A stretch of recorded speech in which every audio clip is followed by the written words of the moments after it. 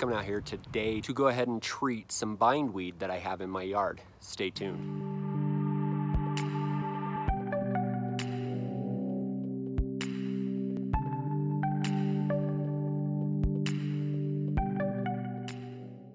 If you like my content, please hit the like button, hit the subscribe button, check the notifications bell, and always leave a comment in the comment section.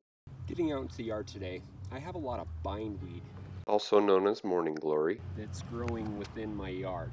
It's one of the horrible weeds that we have. Such a pretty flower for such a bad weed. And I had to come up with a weed killer that would actually tackle it really well. so I ended up reaching out to a very trusted source. There's the Greener Lawn. Hey man, glad you're here. Matt Martin. I really appreciate his knowledge. I reached out to him and he actually said to use triclopyr. And Turflon ester is the version that we actually use in our turfs. So that's what we will be using today on this bindweed. It's good for a couple of different um, hard to get weeds. Clover, bindweed, oxalis, and I'll put up a list of a few other hard to hit. But as you can see throughout this lawn, we have quite a bit of it. I'm letting it kind of grow out so that it peaks its head up above and I'm gonna be hitting it today. I do not have a surfactant that I'm gonna use with it, so I'm actually just gonna use some dish soap with it. I will be picking up some surfactant here in the future. I'll be doing the spot treatment in the ornamental turf.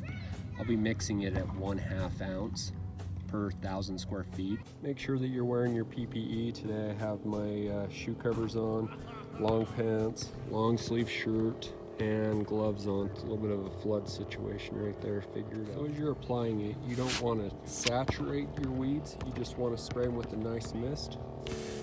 And then go ahead and move on to the next weed.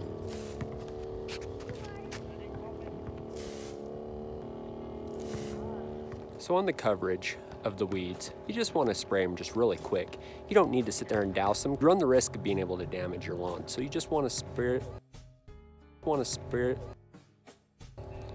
you just want to spray them really quickly, not douse them. On the rates that I used, I didn't use the full max rate. So if a little bit more gets applied, it's not going to hurt anything, but I just don't like running the risk of running that close to the edge. So as I'm doing these spot treatments, it would work a lot better if I used marking blue. I don't have any yet. I plan on picking some up here in the near future.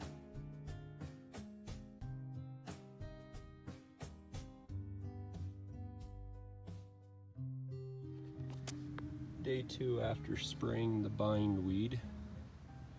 Flowers aren't so happy anymore.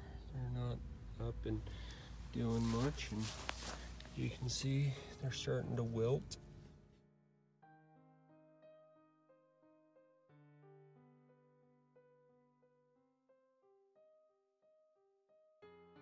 I'm Jeremy of the Greener Lawn.